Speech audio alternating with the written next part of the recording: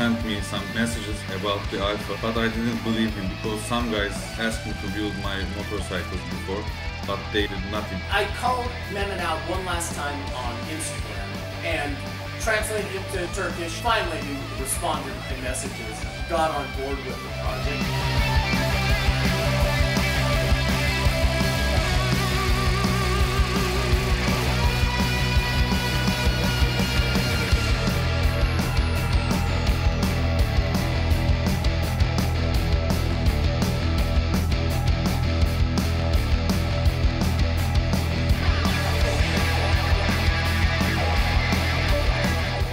Something and someone comes up and says, I will make your dream come true. This project shows me that every creative design can be engineered.